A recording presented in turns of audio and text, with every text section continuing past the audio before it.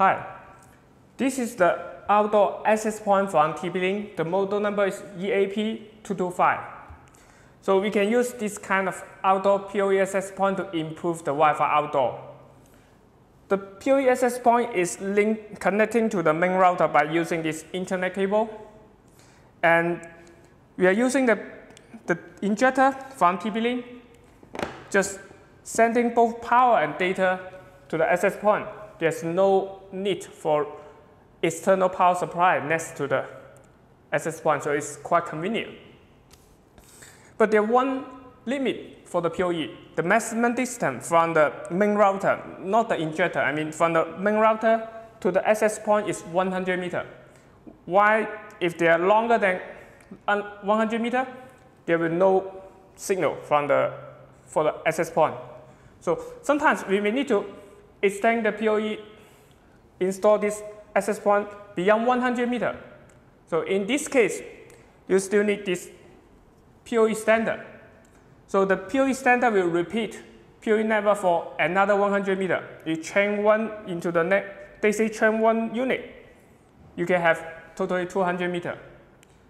Let's just talk about the PoE. In the PoE system, there are power and data. But actually, the PoE extender never repeat the power because the power cannot be repeat. Technically, the PoE extender only repeat the data. All right, let's just make a quick demonstration. Here we got second row of the cable.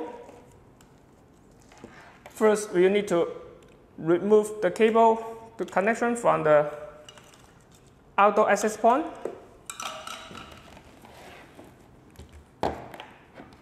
So we are going to use this PoE extender to join these two cables together.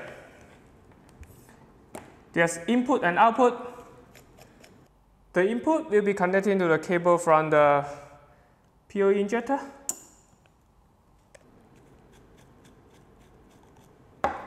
And the output will be linked to the direction of the access point. Okay, that would be now. We also need to connect the connect back to the PoE extender. But you can see there's a problem. You can the two indicator is not flashing. Even I can see the indicator has been turned on there, but there's no flashing. So what could be the wrong? Oh, let me check. This is the passive PoE injector.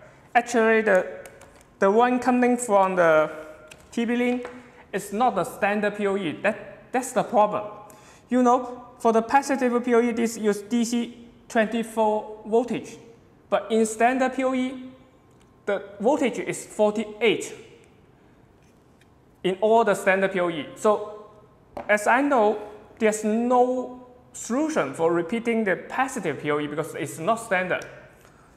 So the, the solution is we also need to replace the injector from TP-Link because this one is not standard one and also using the DC 24 voltage. We need to change the standard one, PoE injector, which using the DC 48.